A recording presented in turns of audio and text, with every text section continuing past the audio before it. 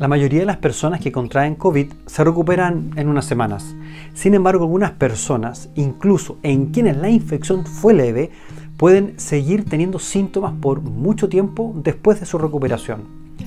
En ocasiones a estos problemas de salud persistentes se los llama síndrome post-COVID-19. En la siguiente nota, doctor en casa, vamos a explicar en detalle los síntomas y el tratamiento de este síndrome post-COVID.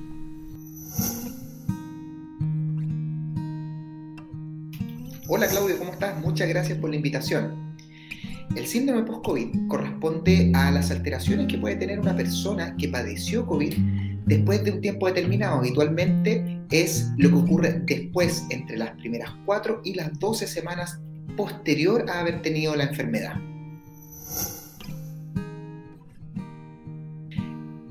La verdad es que el síndrome post-COVID eh, se está presentando de manera frecuente en los pacientes que eh, han tenido la enfermedad.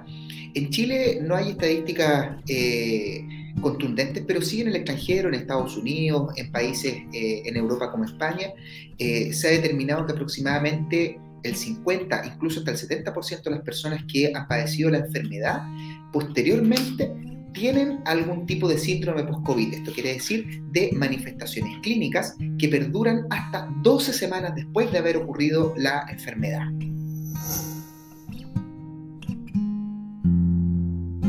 Los síntomas que puedes tener en el síndrome post-COVID son súper variados.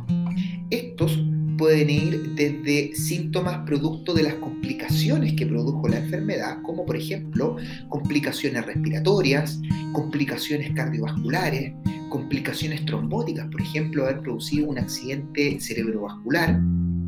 También pueden ser otro tipo de complicaciones, como complicaciones relacionadas con la salud mental, por ejemplo, en donde personas que estuvieron hospitalizadas en malas condiciones debutan con patologías de salud mental producto de la situación que vivieron. Por otro lado, también tienes enfermedades que se producen, o alteraciones, mejor dicho, que se producen en enfermedades previas del paciente. Por ejemplo, si una persona era hipertensa y con el COVID se descompensó de su patología de base, que era la hipertensión, va a producir alteraciones producto de la hipertensión, pero está desencadenado producto del COVID. Y por otro lado, también tenemos otras complicaciones de la enfermedad que tienen que ver con, por ejemplo, los fármacos que se administraron en el COVID en personas que eh, potencialmente pudieron haber estado graves y que requirieron estar hospitalizadas, son a lo mejor algunas de las alteraciones que son producto de la administración de algún tipo de fármaco.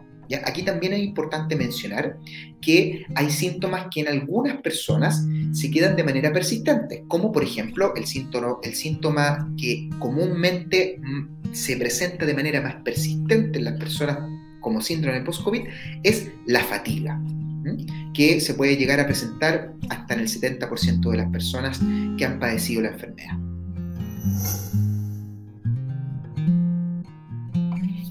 Porque es una enfermedad multifactorial.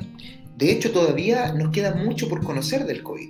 Inicialmente, cuando comenzó la pandemia en el 2020, todos pensaban que era una enfermedad respiratoria. Después, eh, este pensamiento fue cambiando conforme la investigación y se determinó que esta era una enfermedad inflamatoria. Eh, por lo tanto, puedes tener muchas alteraciones adosadas al COVID producto de lo multisistémico que termina siendo esta enfermedad. Al ser una enfermedad que no solamente afecta la vía respiratoria, sino que afecta al sistema circulatorio, puedes ver, por ejemplo, desde eh, la tos característica que, que, tienen las personas con problemas respiratorios, puedes ver enfermedades trombóticas como un accidente cerebrovascular o un infarto agudo al corazón o eh, manifestaciones desde la salud mental en personas que estuvieron incaustadas por mucho tiempo o que tuvieron una situación de vida con la enfermedad muy traumática. Entonces, eh, tenemos un abanico de eh, situaciones que pueden llegar a producir condiciones de salud súper variadas en relación a la enfermedad.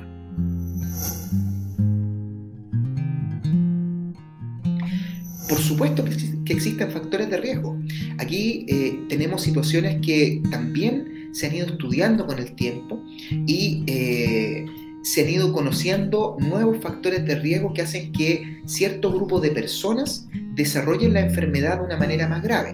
Si bien es cierto, hoy ya contamos con vacunas y eh, sabemos el gran efecto positivo que han tenido las vacunas en el desarrollo de la enfermedad para que las personas no la desarrollen de manera grave, eh, existen factores de riesgo como por ejemplo tener enfermedades crónicas no transmisibles previas, como hipertensión, como diabetes, como dislipidemia.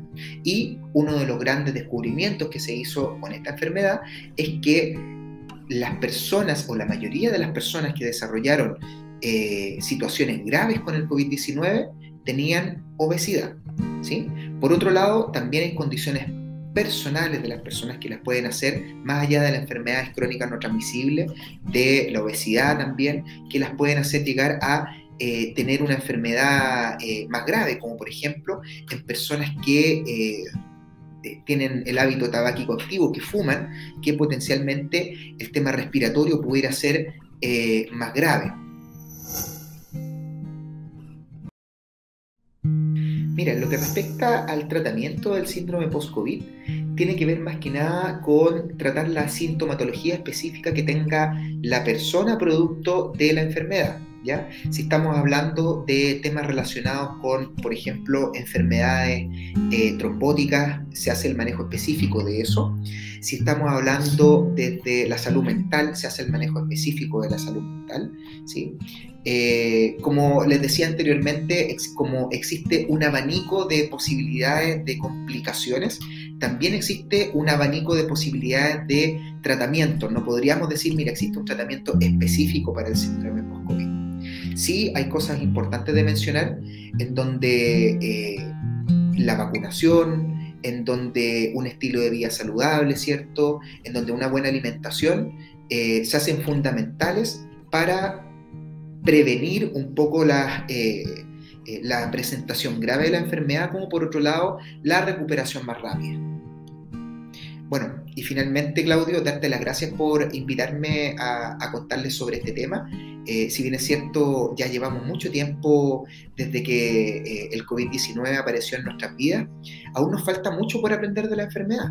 Eh, los científicos, la sociedad y la comunidad científica se volcó a estudiar de manera importante esta enfermedad y todavía la siguen estudiando. Por lo tanto, con el tiempo probablemente tengamos más adelante nuevos descubrimientos en relación a esta enfermedad, eh, conozcamos eh, nuevas variables y nuevas variantes de ella, eh, y reforzarle a todos nuestros espectadores que la importancia que tiene la vacunación contra esta enfermedad, que en un país como el nuestro, como Chile, que ha tenido un comportamiento impecable con la vacunación, ha hecho que tengamos o podamos sobrellevar de una eh, mejor forma esta enfermedad desde el punto de vista comunitario. Así que me despido, Claudio. Muchas gracias por la invitación y que estén muy bien en sus casas.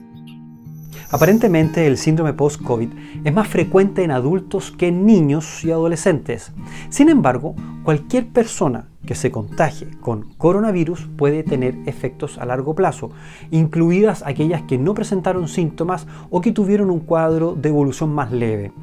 Ante signos y molestias persistentes es muy importante consultar con un médico que pueda realizar una evaluación general y llegar al diagnóstico y entender si está usted cursando este síndrome post-COVID. Si quiere volver a ver este segmento lo puede hacer en nuestra página web www.mundodec.com.